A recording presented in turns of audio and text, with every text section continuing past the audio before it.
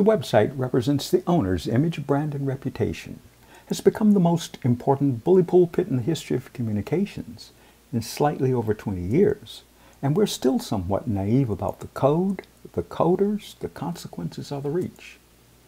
The first web page was launched in 1991, and in 1994 the standards for the protocol, the browser, the Universal Resource Identifier, the website, the Uniform Resource Locator, the web page, domain name, and validation tools were adopted to check the open source code.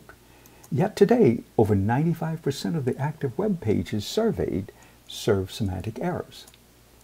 Website consultants convert the owner's content to binary digits and earn on average $36 for developing 100 lines of code per hour.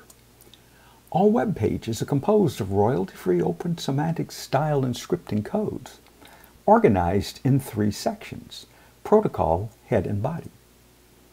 The Unicorn Validator tool checks the semantic style and scripting codes for syntax errors and warnings in a single test.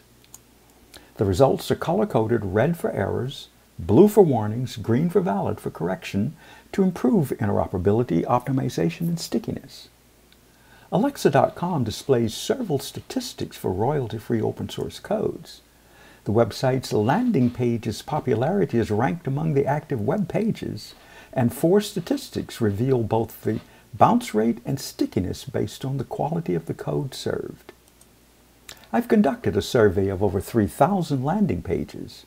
The results are summarized, minimum, average, and maximum, and the website results ranked above and below the average to inform those website owners interested in correcting the errors.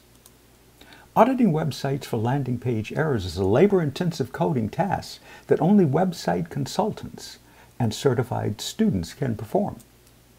Check your website code today because website codes are like emails sent before spell checkers and autocorrecting. Thank you.